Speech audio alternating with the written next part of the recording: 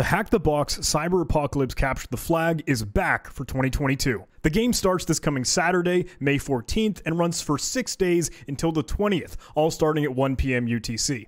The prize pool is insane with over $20,000, and there are more than 60 challenges to take on across all different kinds of categories.